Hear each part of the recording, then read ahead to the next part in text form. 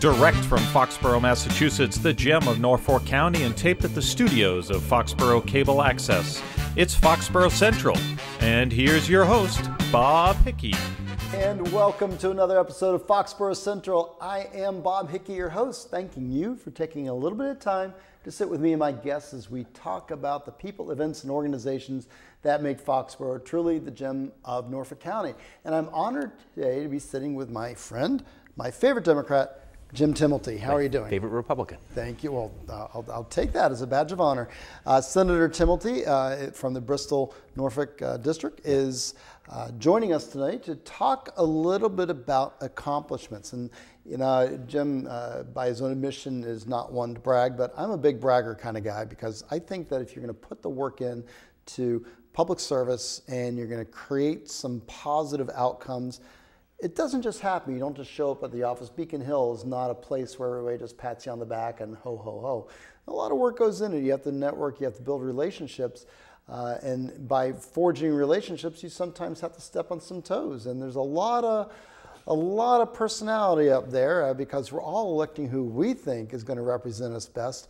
But there's a you know 40 of you people who represent each community best up on Beacon Hill in the Senate, and sometimes we don't all get together and elect the same people. So, because of that, uh, a lot of credit to you for pushing through some legislation over the years. And you were first elected in 2004. 2004. 2004. Sworn in 2005, uh, January 2005. So I'm in my sixth term, 11 years, uh, and it's uh, it's been a fascinating experience. I didn't know. I thought I would really enjoy the challenge and really enjoy the ability to, you know, you're you're in a system that's designed for maximum participation. I was very lucky at an early age to kind of take that plunge and get into uh, po- politics and get into elective office. I wasn't successful in my first run for Senate. It was my first run for anything. Any- anything, and I was right. I was 27, and you know, but it was I, if you get 300 certified signatures and you go through the steps at the Secretary of State and Town Clerk, you know, you're on the ballot, and that's kind of uh, you know wild when you think of it. I remember as, as being that young and seeing my name uh, on a primary and, and winning a primary uh, at you know at 27 in an elected office, and, and I ran against a very accomplished legislator and someone who had a broad resume, was a wonderful person, and had a great time doing it. Took me about took 12 months of a year. My golf game suffered and didn't do much at the beach, but. I'll tell you, it was one of the it was one of the best experiences I've ever had. Well, you know, and we all do what we do, and there's a, a path that leads each of us to wherever we're at. And with your path, I always, and I never asked you about this. I, I hope you can speak to it a little bit. And, and of course, you had uh, why you've been centered. You, you've, you've started your family, and, and you now have two kids, 11 and 8. Yeah, yeah. And, uh, and of course, your, your wife supports you all the Yeah. time when you come out and do things like this Yeah. uh, for no additional pay, and you're out here volunteering and you know touching the constituency wherever they are. So thank you for doing that. So, you know, I definitely owe her at least a cup of coffee, if not flowers. So. She knows a Beacon Hill update on uh, Foxborough Central is something I can't pass up. Well, then she's a good person. She can check us out, of course, at www.fcatv.org. Shameless plug. But if you want to get a hold of the good senator, you can email him at james.timilty at masenate.gov. Right? Yeah, All that's right. I got that right. Yeah, that's All right, it. I didn't even have to check on my note. Of course, they can also call you directly, and you know, one of the things about you is you're always accessible. Uh, I've never reached out and not been able to get hold of you, and I try not to do it too much. But 617-722-1222, and that's your direct line. Love, I love politics. I love government. I love talking about it. I had started out in politics as an idealistic environmentalist who had worked uh, in a state agency. State agency. They loved the, the Department of Conserva- Conservation and Recreation. Uh, worked my way from a golf course uh, in Canton, across the street from my house, all the way up into the commissioner's office, and then had the idea to jump off and try to do. I'm like, somebody's going to do this. I, you know, work enough with these people in community affairs that maybe I could do the job. And then, by virtue of that loss, I spent five years in the private sector as a in a telecommunications company that was national, uh, purchasing and distributing distributing material all over the all over the Commonwealth and in, in many respects in the nation as well. But uh, working there before the 9/11 recession and then after, when there were tremendous changes in the economy and very quickly on the governmental side, but on the private sector side, I think it gave me the right balance of government service. Government service is very important. Can't act like a business because it's not, but there should be some business principles in it. So I think that that, uh, you know, just having that green lampshade and going through uh, a purchase order and understanding, you know, what are we, at the end, at the end of the day, are we going to be able to keep the doors open tomorrow? That's provided me a, a good balance, and we all have different experiences. Mm-hmm, mm-hmm. You know, there are lawyers, there are doctors, there are uh, former police officers. There's a you know a wide range. We wanted a citizen legislature, and the you know the people who built this system, you know, the greatest country in the world, started to come from Massachusetts. The Massachusetts Constitution is what the United States Constitution is, is built on. So working in the same building where John Adams, Paul Revere, and John Hancock uh, walked around on top of John Hancock's, what was his cow pasture, is, uh, is a pretty heady experience for one day, but never mind uh, 11 years. And I think I've got a little better um, over the course of my career in you know, dealing with knowing the neighborhoods, knowing the issues, knowing the people, but then knowing how to do some things up at the state that would help um, to address their concerns, both, both with legislation and with dealing with state agencies. Well, that of course comes with experience as well as being intuitive and friendly and, and able to uh, you know, process. And I, I, suppose it speaks directly to your staying power that you're able to bring that mix of, of private sector, public sector. And I know that in, in your family you've got a history of public service also. So yeah. Uh, maybe uh, being exposed to it at such an early age, well, you're maybe a little more predisposed to all the pains and joys of Beacon Hill than maybe the rest of the, uh, the rest of us. Well, the absolute the irony the irony of that the ultimate irony of that is growing up I absolutely was my least favorite thing my least favorite thing and it's I, my my parents now seeing me do it are just absolutely amazed. I guess it would be if the kid, if your child never had vegetables and then upon growing up and moving out of the house became a vegetarian. I think that's how my mother views uh, this this career path. But it is it's the ultimate irony that my dad, having been in the been in the Senate and run for mayor of Boston, it was uh, something that I just absolutely couldn't stand. And now now I'm immersed in it. I love it. I love it. well, you know, I always uh, say that you never know what our kids are going to pick up from us yeah. as parents, and uh, and uh, you know, you picked up some of the some of the more positive uh, attributes there. So well, good for you. That scares me because my two daughters absolutely can't stand uh, politics, so that, well, that, that troubles me. We'll have to my, steer them in a in a different path. My daughter uh, this past uh, week uh, was part of a team at the college that hosted the local political debate up in North Adams, and she's also one who hated my time as selectman when I was a local elected official here uh, because it was taking me away from home. So right. you just never can tell. Yeah. Never can tell. So let's talk about some accomplishments. You, the family, of course, is the number one accomplishment, but let's talk about some of the other things. Up on Beacon Hill, in the 10 years, 11 years nearly, that you've served up there, there's been some key pieces of legislation that you have to be proud of. Uh, let's uh, talk about one that I know of uh, the 9 11, yeah. Uh, the 911 yeah. um, call, uh, funding. Tell me about it. It's, it's, it's a fascinating realm of, of state service, which I don't think a lot of uh, people understand. I but don't. When you think of what you know, what you think about what nine, everybody, every almost to a person, all sleeps beneath the protection, beneath that blanket of protection at 911. If you hear a loud noise, if you hurt yourself, if you see an accident, if something untoward happens, almost instantly now people would run for the phone or yell for somebody to run the phone, or now somebody dials in. Uh, and in recognition of that in the year 2008, and 2008 was a, was a year, that, that two-year term was a year for a lot of reforms. You know, there was the transportation reform, there was pension reform, there were a lot of big things that, that hit the paper. And then maybe because, you know, as I always say, we all crave immortality, I, I would always speak to the biggest reform of that year was my bill, which created, it removed the state emergency telecommunications board and created a smaller state 911 system uh, that would put some funds to bring an age, our aging infrastructure and our aging laws and regulations mm-hmm. into the next generation. And at that time, didn't even really know what the next generation is, but we're seeing this year as the, this, the, the entity that I created, the State 911 Department, is promulgating new regulations and, and going out to bid for what the next generation, what you know, what we'll see in years to come. And it was, it was not easy because we were asking for the ratepayer to pay an additional uh, small amount of money for this Sure. life-saving service. But in doing that, uh, we have about 20 to 25 million dollars a year that comes in to fund the system, not off the general appropriation, not off the budget, but off a small fee that was being paid by By users. by users, by by landline users and cell phone users. Important to see that because I know I have to justify this to you as the Republican who doesn't like the taxes, but uh, the wireline fee used to be $1.25 a month.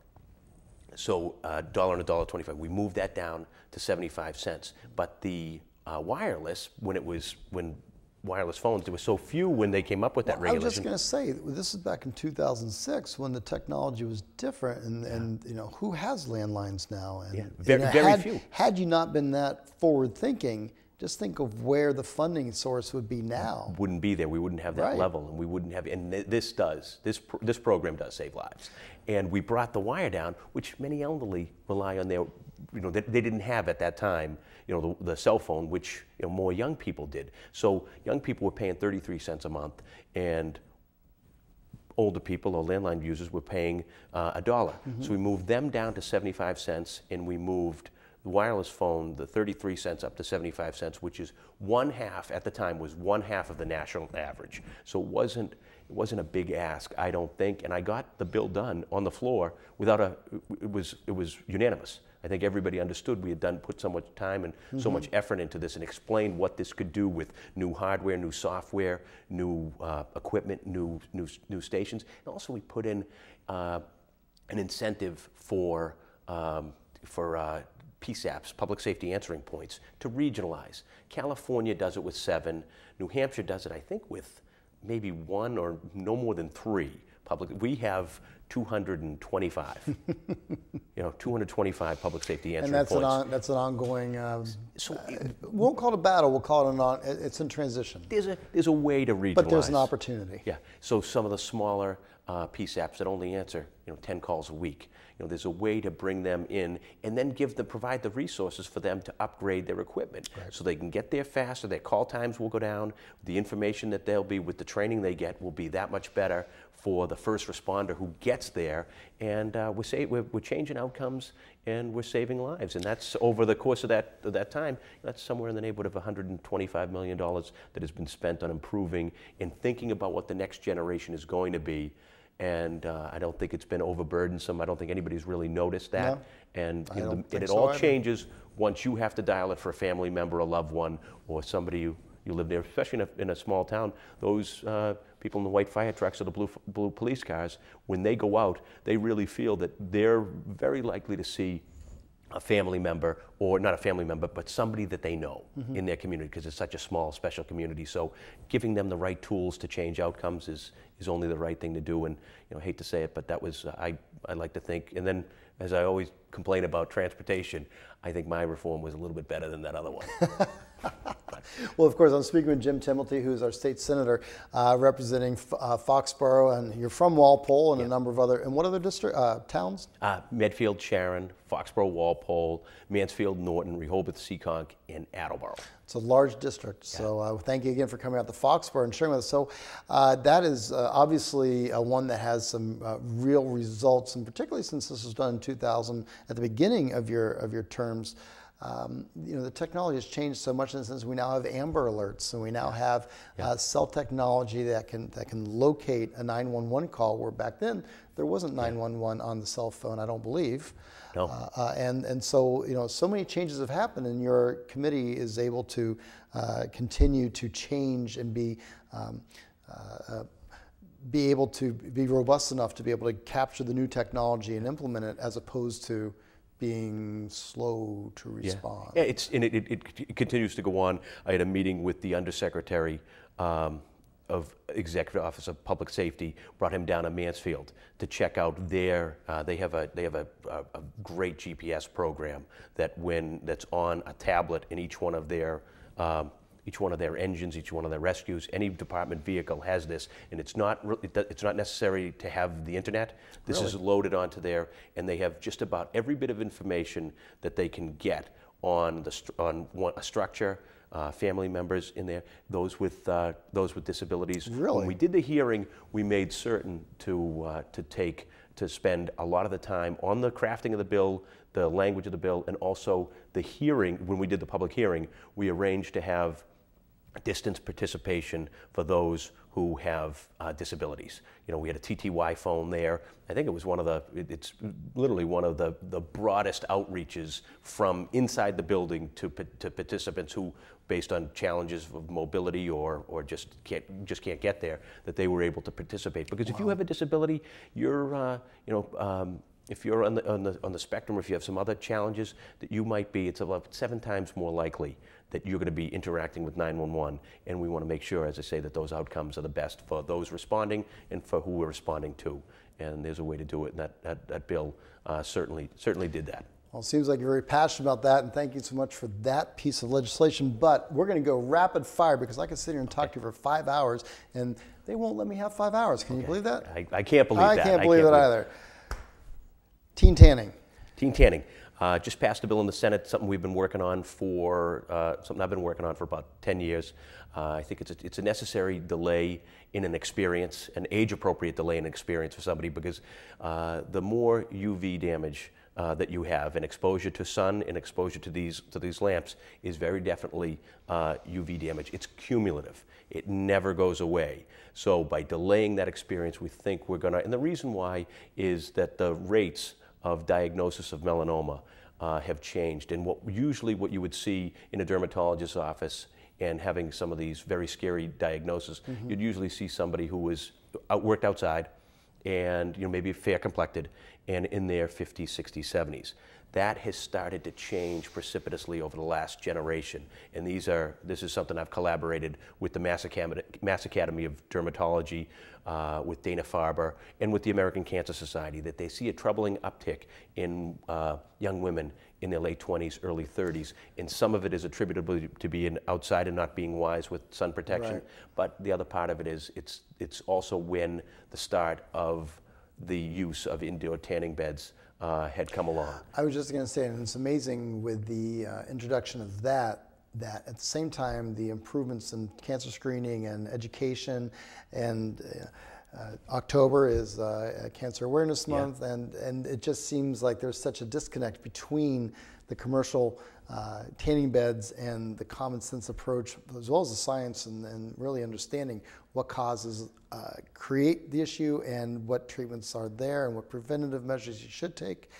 I just don't get it. Well, the World Health Organization, uh, the FDA, uh, the USDA, and the FDA list these uh, uh, the the tanning right, right. as akin to or equal to um, arsenic and some other toxic toxics. Interesting. To- and uh, New Hampshire has done this. Some other states have done this. Nevada has done it. California has done it.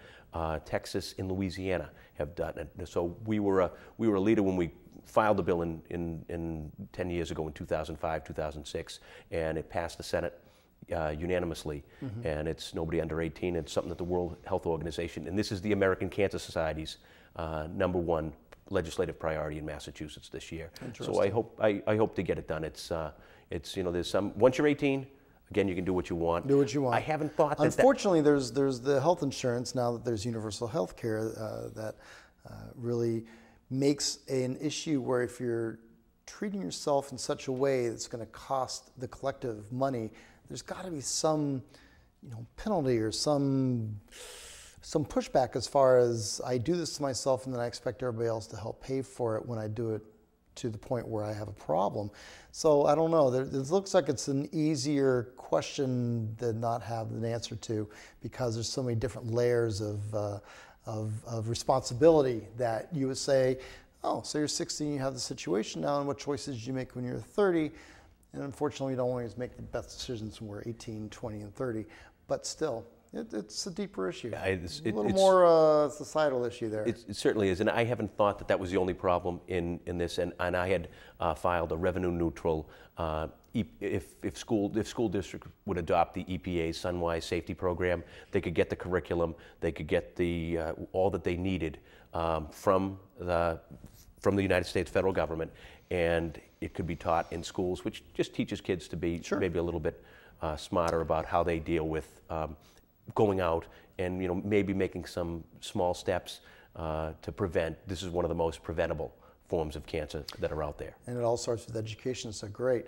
Uh, uh, if I could touch on another subject, uh, I know that there's one that was uh, very uh, near and dear to you. Uh, two firefighters in Boston lost their lives driving a truck. No, it was, it was this was the Boylston fire.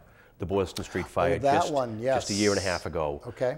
from 33 and 15, two firefighters lost their lives, and then not long after that, a or very very close to that event, um, a Plymouth uh, police officer had passed away, and I have mm-hmm. the chair of, uh, of public safety and homeland security. So on a daily basis, I'm dealing with, uh, and then socially also, I deal with a lot of uh, fire those public safety officers that work to protect us. And you'd like to be able to do it for everybody, but in this sense, you have to have you know a, a subset that you can sure. you, you, can control. And if a uh, so police officer, police officer, correction officer, or firefighter passes away in the line of duty, their children uh, would be able to go uh, to college uh, with uh, tuition, room, board, and fees would be paid for by school. the Commonwealth. But not just at a state school, mm. you would get the equivalent of what UMass is if you went to a private school. Really? Yeah. So there that was choice. that was something. That's great. I came out of the uh, Plymouth funeral and went to both went to both firefighters and then to the police officers' funeral. Came out of it and had run into um, uh, major, uh, Minority Leader Bruce Tarr and Senate President uh, Terry Murray, and they thought about as they were, as they as we watched the, the families grieving uh, during these tragic times. You know, what do we do for what can we do for the kids? And I said I have a bill in the Committee on Public Service. It's ready to go to to kind of even out these. Uh, these, these benefits and well, it's a small cost. It's a small cost for the sacrifice they give. So yeah, in the grand scheme of things, we wouldn't we wouldn't notice it. And, and based on you know your, your heartstrings being pulled, there's, there's we're always looking to expand a spectrum, you know, a small spectrum to somebody really worthy. And I think that, that those families certainly they'll never they'll never get there. Sure. They'll never get that hero back. But also with kids growing up without a parent, there's enough challenges, mm-hmm. and uh, at least some small way to ensure that they'll have some opportunity uh, when they get to be 18 and ready to go on. And I think most in the Commonwealth would agree to the virtues Absolutely. of that bill. So uh, you, you, touched on your chairmanship, uh, your work on the Public Safety and Homeland Security Committee. Yeah. So you're the chairman of that? Chairman of that, yeah. Okay, yeah. so you've been you've been doing that for quite a while. Yes, now. I've got uh, I've got eight years. I've got uh, four terms working on five. Wow. Uh, doing that. It's a it's it's a it's a great committee. You have a, you have a, some ability to uh, because seven thousand bills come in, and the logic behind the committee is that there are certain specialties that really should be assigned some bills to go through them, look at the merits, you know, work them out. There's five members of the Senate. 11 members of the House on that joint committee. So there's two chairs, a House chair and a, and a Senate chair, and mm-hmm. we're tasked with holding a public hearing and um, and truly vetting the bills and then make some changes to them uh, and send them out and report them either to the House or the Senate. If, uh, if it's a bill that doesn't have much support, and I've had a few of those, uh, it could either get a not not to pass or it can go to a study. But when you get, if you get a favorable recommendation from the committee, you either go to the Committee on Ways and Means if it has a cost to the Commonwealth to be discussed, or it goes to steering and policy, and then it works its way. And hopefully, if it's your bill, you get a chance to see it, see the light of the chamber. So you've been doing this for a while, and you enjoy this. Yes, I do. It's it's, it's been a lot of fun.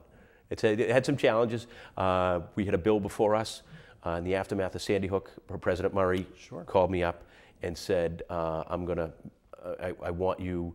To be ready. I'm going to make, I'm going to tell the Senate clerk that all bills related to firearms are going to come to uh, the Committee on Public Safety, not go to Judiciary or not be a split.